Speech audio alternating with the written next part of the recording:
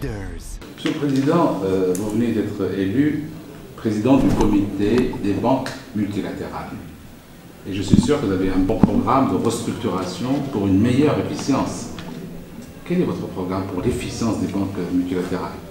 Vous savez qu'il y avait un rapport qui a été fait, un rapport de haut niveau de, euh, de, de G20, sur comment faire le, le c'est une question de rendre les banques multilatérales plus efficientes et plus efficaces et pour qu'ils travaillent ensemble dans, dans un partenariat plus étroit.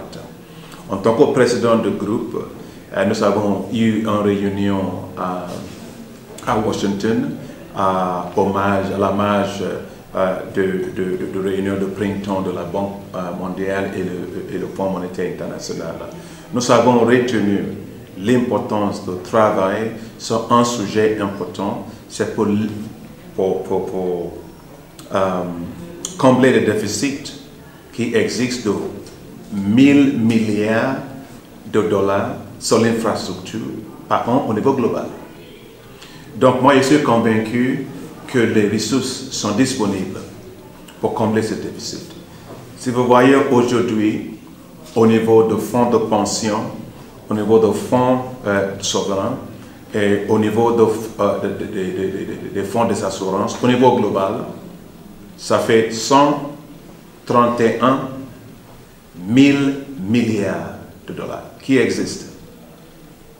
Donc, ça veut dire qu'il faut qu'on soit plus smart pour avoir une leverage de ces fonds-là pour pouvoir investir sur l'infrastructure massive, soit l'énergie, soit le système routier et tout cela. Donc, euh, nous avons retenu en tant que groupe que ce sera les premières choses que nous allons faire ensemble.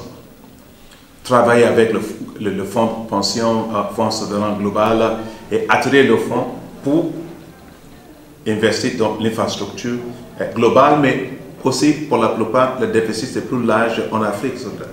Bien sûr, ce sera un bénéfice pour l'Afrique. Voilà les choses les plus importantes que nous avons décidé à faire à ce moment. Leaders.